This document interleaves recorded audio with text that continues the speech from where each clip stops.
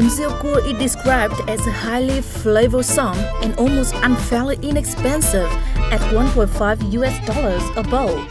This noodle dish is eaten widely across the country with a fragrant soup based on crushed freshwater crabs along with noodles, crab meat, fried tofu, pork, and fresh herbs. Bánh mì phượng in Hoi An, which was hailed as a symphony within a sandwich by the late world-famous chef Anthony Bourdain, is also on the list. Arrive hungry and order one with everything. You will be handed a fresh, crunchy baguette filled with salad, pork, pate, wrapped in a piece of local newspaper, traveler root.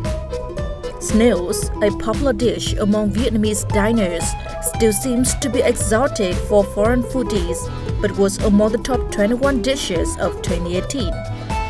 Different types of snails with different methods of cooking are all delicious, particularly when paired with cold beer and a humid evening.